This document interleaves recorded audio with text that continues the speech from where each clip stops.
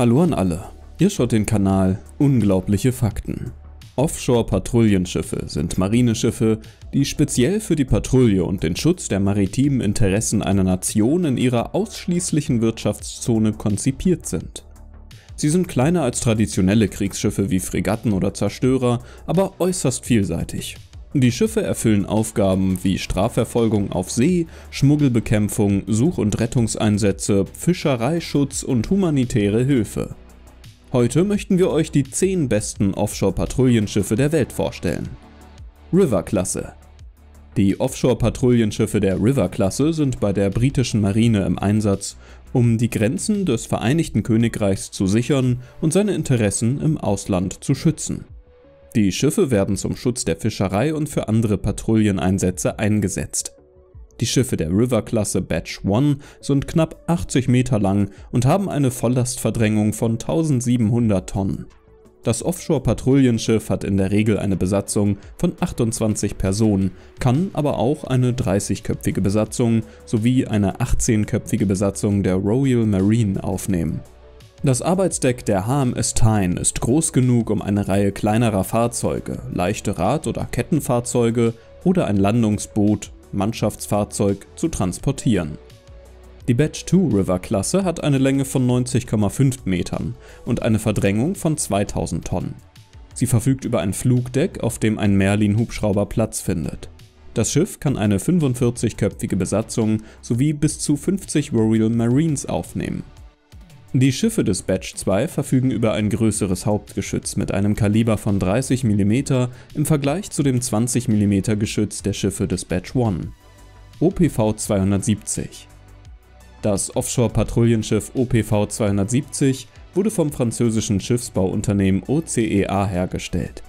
Das vielseitige Schiff OPV 270 ist in der Lage, zahlreiche Aufträge zu erfüllen, darunter die Überwachung der ausschließlichen Wirtschaftszone, die Kontrolle von Schmuggel und illegaler Einwanderung, die Bekämpfung von Piraterie und Menschenhandel, die Kontrolle von Schiffen auf See sowie Such- und Rettungseinsätze. Das 84 Meter lange Patrouillenschiff hat einen Aluminiumrumpf und bietet der Besatzung höchsten Komfort und Sicherheit. Es hat eine maximale Kapazität für 40 Besatzungsmitglieder, 26 Passagiere und VIPs sowie 35 Überlebende. Das OPV 270 verfügt über ein Flugdeck, das einen Hubschrauber der 5-Tonnen-Klasse aufnehmen kann und zwei Teleskopkräne, die das Aussetzen und Einholen von zwei 9,2 Meter langen Festrumpfschlauchbooten unterstützen. Das Schiff verfügt außerdem über aktive und passive Stabilisierungssysteme und kann Missionen von bis zu 35 Tagen Dauer durchführen. P-71 Die P-71 ist ein Hochseepatrouillenschiff, das von Caritier Navale Vittoria, einem italienischen Schiffsbauunternehmen, für die Streitkräfte der Republik Malta gebaut wurde. Das Schiff wird für eine Reihe von Missionen eingesetzt, darunter Küstenüberwachung, Such- und Rettungseinsätze, ausgedehnte Patrouillen auf hoher See und Grenzkontrollen im Mittelmeerraum. Die P91 ist 74,8 Meter lang, hat eine Gesamtbreite von 13 Metern und einen maximalen Tiefgang von 4,8 Metern. Das Schiff hat eine Volllastverdrängung von 2244 Tonnen. Es bietet Platz für 50 Besatzungsmitglieder und hat eine Kapazität für weitere 20 Personen. Eine Aussetz- und Bergungsstation im hinteren Bereich unterhalb des Flugdecks kann ein Festrumpfschlauchboot aufnehmen. Außerdem verfügt das Schiff über ein Hubschrauberdeck, das für die Landung und Betankung von Hubschraubern wie dem Augusta Westland 139 genutzt werden kann. Das Schiff ist mit einer ferngesteuerten 25 mm Otto-Single Oerlikon KBA Waffenstation, einem 12,7 mm Maschinengewehr und zwei 7,62 mm Maschinengewehren ausgestattet. Holland-Klasse Die Offshore-Patrouillenschiffe der Holland-Klasse wurden von Damon Skeel Naval Shipbuilding für die Königlich Niederländische Marine gebaut. Eine Serie von vier Schiffen ist nach niederländischen Küstenprovinzen benannt. Die Schiffe können internationale Einsatzkräfte bei der Bekämpfung der Piraterie und Drogenbekämpfung unterstützen und in Krisenzeiten Schiffe in Küstengebieten blockieren. Die Schiffe können Nachschub und mehr als 100 Personen transportieren und sind auch für Notfalleinsätze geeignet. Das Patrouillenschiff hat eine Gesamtlänge von 108,4 Meter, eine Breite von 16 Meter und einen Tiefgang von 4,5 Meter. Die Verdrängung des Schiffes beträgt 3750 Tonnen. Das Hauptgeschütz ist ein 76 mm Otto Melara Super Rapid Geschütz. Es hat eine Feuergeschwindigkeit von 120 Schuss pro Minute und eine Reichweite von 16 Kilometern. Das Schiff ist außerdem mit einem 30 mm Otto Melara Marlin WS Geschütz, zwei 12,7 mm Otto Melara Hitroll NT Geschützen und zwei 12,7 mm M2HB Maschinengewehren ausgestattet. Das Patrouillenschiff verfügt über einen voll ausgestatteten Hangar für den Betrieb eines NH-90 Hubschraubers. Yarmouk-Klasse die Offshore-Patrouillenschiffe der Yarmouk-Klasse werden bei Damon Shipyards Galanti in Rumänien für den Einsatz bei der pakistanischen Marine entwickelt. Die Schiffe bieten Fähigkeiten für eine Vielzahl von maritimen Operationen in einem komplexen Umfeld. Die Schiffe werden als Kraftmultiplikatoren dienen und der pakistanischen Marine mehr Flexibilität für ihre regionalen maritimen Sicherheitspatrouillen im Indischen Ozean bieten. Die Yarmouk-Klasse ist 91,3 Meter lang und 14,4 Meter breit. Die Schiffe haben einen Tiefgang von 4 Meter und können eine Besatzung von 46 Personen aufnehmen. Sie können 2300 Tonnen Wasser verdrängen, mit einer Höchstgeschwindigkeit von 42 Stundenkilometer bis zu einer Reichweite von 11.100 Kilometern fahren und 40 Tage auf See aushalten.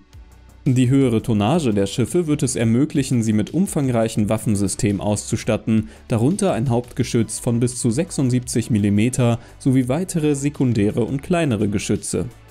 Die Schiffe werden mit GOG Dennis oder Phalanx CIWS Luftabwehrraketensystem und einer vertikalen Startsystemzelle für Bodenluftraketen ausgestattet. Joy Kamakuto Klasse Die Offshore-Patrouillenschiffe der Joy Kamakuto Klasse Typ BVL sind bei der venezuelischen Marine im Einsatz und werden in den ausschließlichen Wirtschaftszonen Venezuelas eingesetzt. Die Schiffe des Typs BVL können eine Reihe von Aufgaben übernehmen, wie zum Beispiel die Überwachung und den Schutz von Küstengebieten, Such- und Rettungseinsätze, den Schuss der Schifffahrt, die Bekämpfung des Oberflächenkriegs, die passive elektronische Kriegsführung, die Bekämpfung der Meeresverschmutzung, das frühzeitige Eingreifen, die Beförderung von Personal und Nachschub sowie die Brandbekämpfung von außen.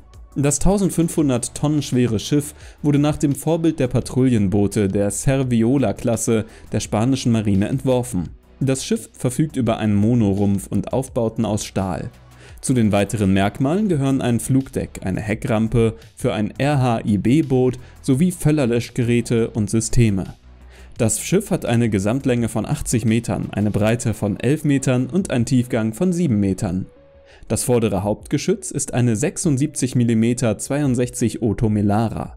Die Kanone hat eine Feuergeschwindigkeit von 120 Schuss pro Minute und eine maximale Reichweite von 30 Kilometern. PPA-Klasse Die italienische Marine plant, bis 2026 sieben Mehrzweck-Offshore-Patrouillenschiffe der PPA-Klasse in Dienst zu stellen.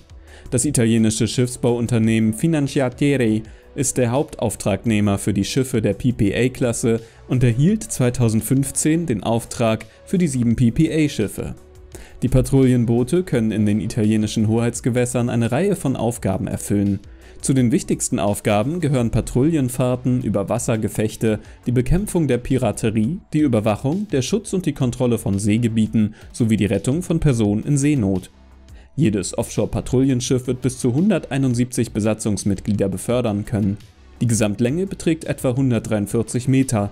Die Tiefe und die Breite des Schiffes betragen 10,5 Meter bzw. 16,5 Meter. In der Mitte des Schiffes wird ein 11 Meter langes Festrumpfschlauchboot für Patrouillen- und Transportaufgaben mitgeführt. Ein Hangar am Heck des Schiffes bietet Platz für bis zu zwei NH-90 oder einem EH-101 Medium Lift Utility Helikopter. Die Offshore-Patrouillenschiffe der PPA-Klasse werden mit dem hochkalibrigen Vulcano-Geschützsystem Otto Melara 12764LW und den mittelkalibrischen Geschützlafetten Otto Melara 7662 zur Verteidigung gegen überirdische, luftgestützte maritime und asymmetrische Ziele ausgerüstet. Samuel Baggett-Klasse Die Offshore-Patrouillenschiffe der Samuel Baggett-Klasse werden im Rahmen eines Flottenerneuerungsprogramms für die irische Marine gebaut. Die Schiffe werden in erster Linie zum Schutz der Fischerei, für Such- und Rettungseinsätze und für Seepatrouillenmissionen in der 200 Meilen langen irischen Wirtschaftssperrzone im Nordatlantik eingesetzt.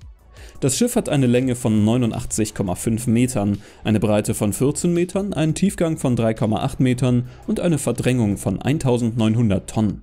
Es kann 54 Personen aufnehmen, darunter eine Schiffsbesatzung von 44 Personen, 10 Auszubildende und die Beförderung von Containern. Das Schiff kann zwei 8 Meter lange Starrrumpf-Schlauchboote an beiden Seiten des Rumpfes aufnehmen, während das dritte R-Hip in einer Wiege über dem Achterdeck untergebracht ist. Das Hauptgeschütz des Schiffes ist ein 76 mm Otomelara Kompaktgeschütz, das mit einem elektrooptischen Feuerleitsystem ausgestattet ist. Als Sekundärbewaffnung dienen zwei 20 mm Rheinmetallkanonen RH202 an Backbord und Steuerbord hinter der Brücke.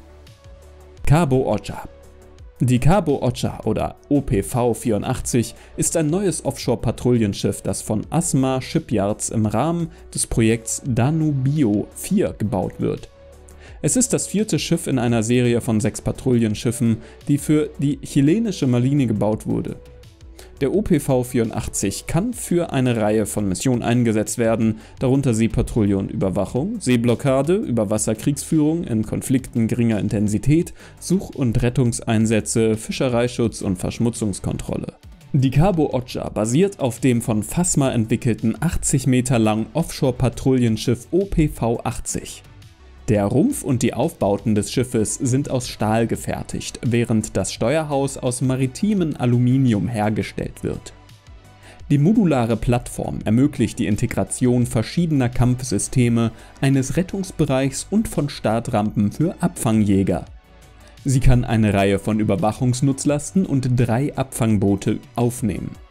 Das Schiff zeichnet sich durch eine hervorragende Seetüchtigkeit aus, so dass es für vielfältige Aufgaben im Rahmen von Marine- und Küstenüberwachungseinsätzen geeignet ist. Das Hauptgeschütz auf dem Bugdeck ist ein Otto Melara 76 mm Marinegeschütz.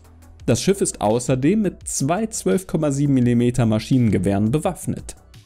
S-45 der Schiffbauer Israel Shipyards hat sein neues Mehrzweck-Offshore-Patrouillenschiff S-45 für den verstärkten Küstenschutz der israelischen Marine zu Wasser gelassen. Das Unternehmen stellte das maßgeschneiderte Schiff am 29. September 2022 an seinem Hauptsitz in der Hafenstadt Haifa vor.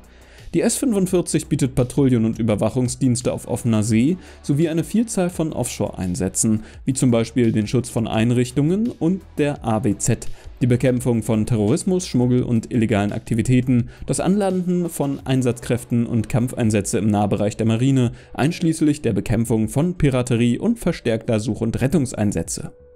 Ausgestattet mit fortschrittlichen Waffenstationen, Elektrooptik, Radar- und Kommunikationssystemen, die für verschiedene Missionen geeignet sind, hat die S-45 eine Gesamtlänge von 45 Metern, eine Dauergeschwindigkeit von über 44,4 Stundenkilometern und eine Kommandobrücke, die eine 360-Grad-Beobachtung ermöglicht. Für Einsätze, die ein schnelles Abfangen erfordern, kann die S-54 ein 7,5 Meter langes Festrumpf-Schlauchboot mitführen. Zu den Waffenoptionen gehören stabilisierte Marinekanonen von bis zu 30 mm auf dem Vorderdeck und 12,7 mm Maschinengewehre an anderen Stellen des Schiffes. Das war's, Freunde. Danke fürs Zuschauen. Schreibt in die Kommentare, welches der Offshore-Patrouillenschiffe euch am besten gefallen hat. Klickt außerdem auf den Gefällt mir-Button und abonniert unseren Kanal, damit ihr keine neuen interessanten Videos mehr verpasst.